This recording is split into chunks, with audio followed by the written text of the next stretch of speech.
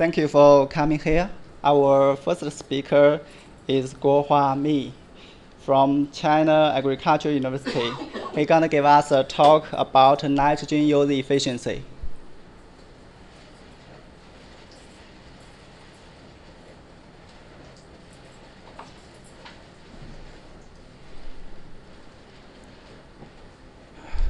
Uh, good afternoon, everybody. Uh, I'm glad to be here, and thanks to the organizer to give me opportunity to introduce my work on uh, root plasticity uh, in relation to nitrogen efficiency in maize. we all know that fertilizer input is a big cost for farmers, and it's very important, but it can be very uh, causative. And uh, fertilizer input can be can cost a lot of uh, uh, energy and also may uh, bring some problem in the context of environmental pollution. So uh, we have to control uh, input to increase its efficiency and re re reduce the environmental pollution uh, possible uh. And also for farmers, you know, the price is very important uh, for, them, for their income. So I, I got some uh, data here to show you that the actually the for maize production, uh, the price in recent years has been very, very low. So farmers, so farmers like to uh, to reduce some input and try to uh, to get more more profit. Uh, but uh, the uh, price input is one of the most important or biggest input. So we think we should, for farmers, they like to get more yield with less fertilizer input. So that means we have to uh, increase nitrogen use efficiency uh, in maize. Uh, so there are two ways, in, uh, uh, principally. One is by uh, increasing, by improvement of nutrient management, and the second is to use nitrogen efficient genotypes. today I'm going to talk about how to utilize uh, nitrogen use efficiency in crop can, can be determined by two uh, factors. One is uh, efficient nitrogen uh, application, and the other one is efficient nitrogen use within the plants. So, but today I want to talk about how to increase nitrogen use efficiency uh, by utilizing the, uh, the efficient root systems.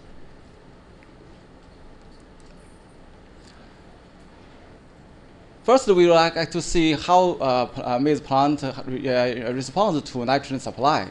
So here is a simple experiment with different nitrogen input from very low to very high nitrogen concentration.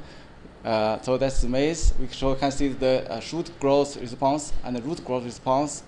So in this region, when the shoot, uh, shoot biomass is constant, I mean, on the, on the maximum, we, we see this, this, this uh, phase, it is the uh, nitrogen uh, uh, region for, for, for maize growth. But even if in this region, actually, there's a, a, certain a certain um, range of nitrogen uh, input. So with the reduction of nitrogen input, this uh, the shoot uh, growth do not do not does not change. So these regions for agriculture, uh, for, for agronomic practice, is a region for optimized nitrogen input to, to increase nitrogen efficiency. And with further decrease of nitrogen input, the uh, shoot growth, uh, shoot uh, will decrease. Then the root growth will still keep keep increase for to try to uh, uh, try to um, take up more nitrogen from the medium. And now, and then if the nitrogen input is very, very low, then the shoot growth and, and root growth both uh, decrease. So in this uh, region, actually uh, means ecological adaptation. For example, in many uh, plants growing in very poor soils, the shoot growth and the root growth both are very, very, very, very small.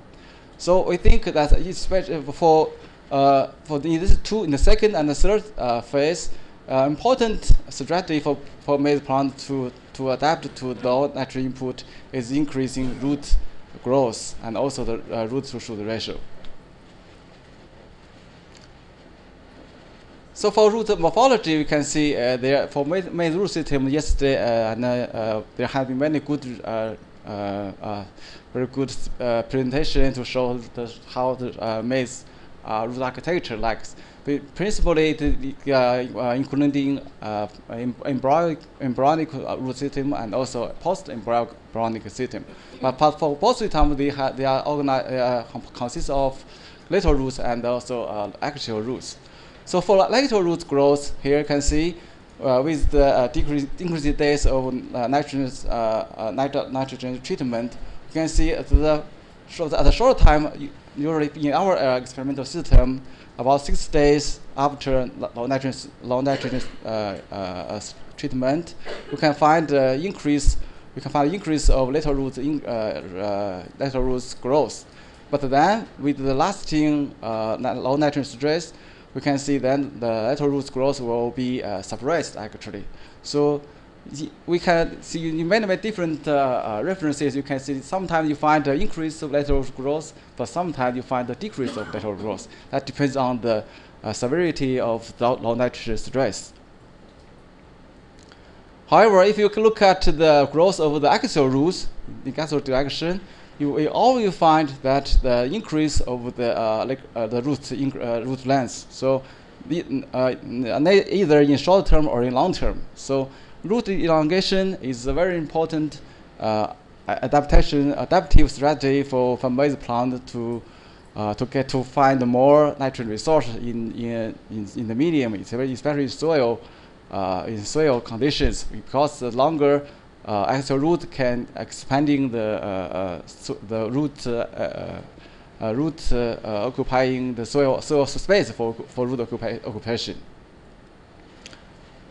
And also, actually, um, in addition to the root, uh, lateral root and the uh, axial root growth, within the roots, we can for the an anatomic structure, there are also some uh, some change. That means at the low nitrogen under large stress conditions, the root usually becomes th uh, thinner, uh, thinner, and also the uh, there are more there are uh, more iron uh, oh sorry. So it's this more of the uh, cortex cell will, will will will die and so the more uh, the air air uh, sorry sorry I don't know the words. Yeah for form sorry sorry. I'm a little bit sleepy maybe. okay, but uh, uh, we also done some work on the uh, uh finding literature to try to summarize how root elongation, uh, how root is uh, length increased under low nitrogen stress.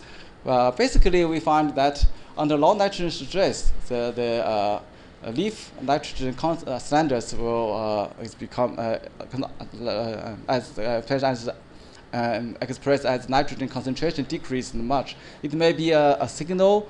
It may as, uh, may uh, may have maybe a original signal to to uh, uh to let to um, to more oxygen transport from the through to the roots. So then in the root epitheliums, there uh, the, the more the increase of oxygen may increase uh, NO in, NO production. NO the next can increase circular tons uh, production. These uh, uh, chemicals can increase cell division. And also, more, more oxygen may increase cell elongation through the acid growth theory. And both cell division and cell elongation can contribute to the increased root elongation. And the local uh, nitrate, even though it, if the concentration is very low, this, this, uh, this nitrate can increase NO production through the uh, nitrate reductase pathway.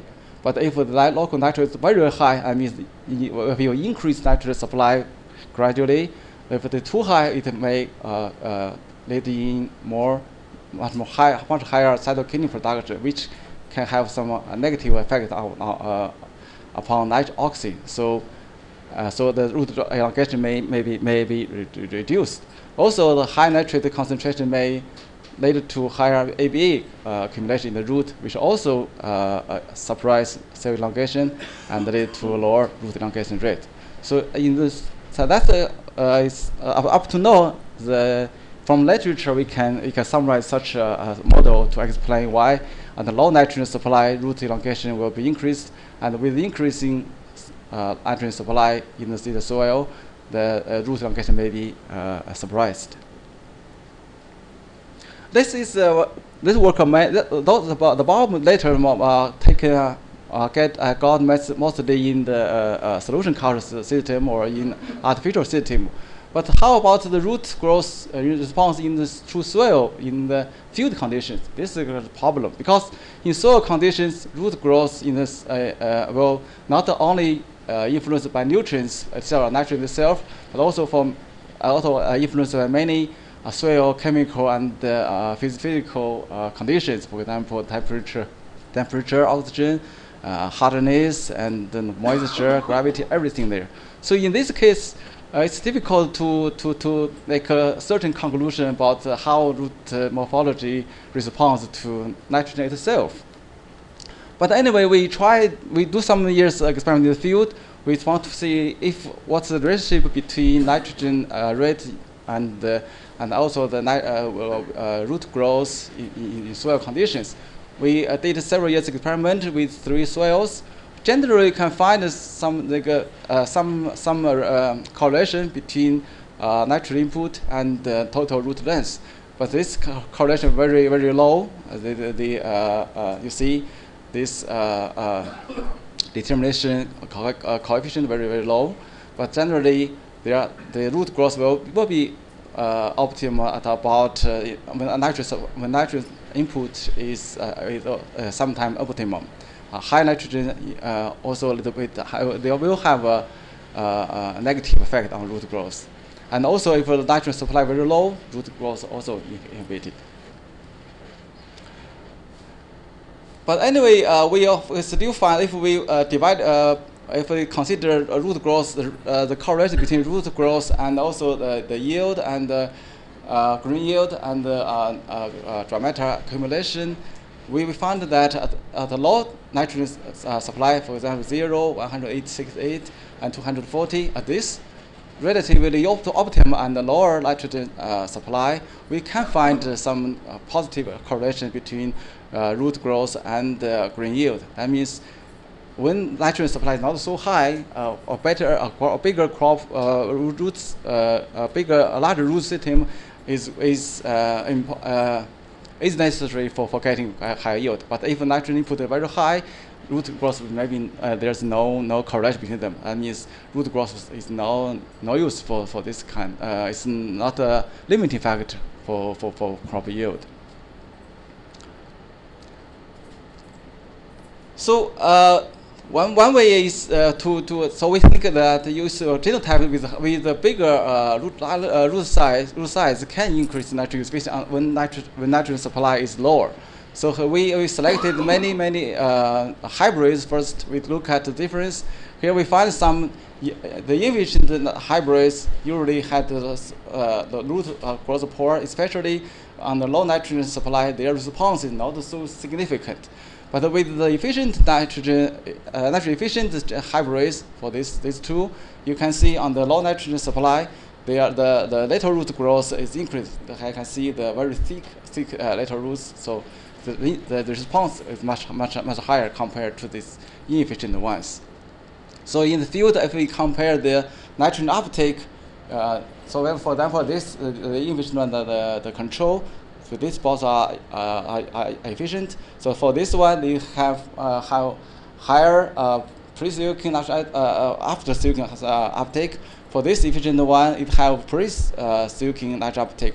Anyway, in both of them, the, the total nitrogen uptake is higher than the inefficient one. So that uh, make this these two get higher, higher, higher green yield. But with the uh, uh, impress with the pro progress of the maize, modern maize breeding, there is something uh, wrong with the roots, uh, not favorable for root root uh, improvement. Here, we, we, in our uh, experiment in, in the field, we in two years field we compared the hybrids released in different years in China during the past about 30 years. 30 years. So we can see uh, at, the, in, at the high nitrogen input, the yield increase is very, very uh, significant, uh, very uh, sharp. This the, the, line very sharp. But uh, at the low nitrogen stress, although the yield increase is also the uh, yield also increase with the breeding progress, but this increase is not as, as sharp as the at a high nitrogen supply. That means the improvement of the green yield under low nitrogen is not much improved. The, the reason, one of the reasons may be that the root system is not not improved, uh, even become, because from our measurement, the root size become even smaller compared the, the in the in the modern uh, hybrids compared with the old uh, hybrids. So this to its a, a typical uh, uh, picture. You can see for old varieties, the the root system are very big, but the new ones, the the root system are smaller. Especially for many of the uh, new new varieties, there are not much the brace roots. yeah. So also also even in the modern in modern uh, um, variety, we still see the difference between the uh, the, uh, the, the, variety, the different uh, cultivars. The, the cultivar with a la larger root system, we can find it can get higher yield at low, nitrogen supply, but not at the high nitrogen supply. So this is the picture in the field. That means larger roots is really important for uh, for maize improvement in, in for the mod, in the modern uh, uh, for for the modern uh, uh, germplasm. So for, for improve of this uh, maize hybrid we use, so we have to select select the gene uh, plasm uh, germplasm from the uh, inbred lines. So we, we select many uh, inbred lines uh, in the field. We find two inbred lines. One is for uh, 478, one W131212. So this have uh, have a very good uh, response to uh, their root growth have very response to low nitrogen stress. But for this one, the response is almost zero. So with this, also their this, their root size, their, their uh, the root to shoot ratio also response is different. This 478 has high uh, has uh, greater response to low nitrogen low nitrogen stress. So you see, this is the, the, the, field, their response, their growth, the, the, the weed, the the, uh, shoot, uh, the root uh, growth in response to low nitrogen stress. Also, we can see here the efficient one has very good uh, root system under low nitrogen stress. So we use it to uh, uh, to make uh, create two, two populations. One is the linkage population, one is the backcross population. So with this genetic population, we we are able to, that's the root difference, we can have a look. So the, this is the parents and this is the, uh, the uh, uh, recombinant uh, lines, the roots changed a lot, a very, very uh, with big variation. So with this, uh, how it lies, yeah, we, we uh, identified many, many QTLs, which uh, encoding the uh, uh, root growth and also uh, yield. Especially, there's many of them, but especially uh, the two locus uh, loci, loci in the chromosome 1 and chromosome 2. It's very important. Uh, have big contribution to root growth. So with these two, we find the uh, uh line at uh, what 213. We, we uh, cross this line. This is like covering both uh, locus, lo loci, and we, and we make a test cross with this line with the with, the, with the another test the line 178. So we can we, in three years, we compare the, uh, the uh, root growth and uh, nitrogen uptake and the green yield with the, the control, the, the, the recurrent, recurrent uh, uh, Paris 3, 1, 2. So on average, we can see an increase of root density by 30% and also, also positive nitrogen uptake by 27% and yield by, by 17%. So in summary, uh, we think uh, maize roots show great plasticity in response to nitrogen supply, and the response of root growth to nitrogen supply is affected by complex soil characters and field conditions. And breeding genotypes with large root system help to increase green yield and low nitrogen supply. And thank you. I would like to thank my students for this work. Thank you very much. We have time for a 15 second question. Sorry.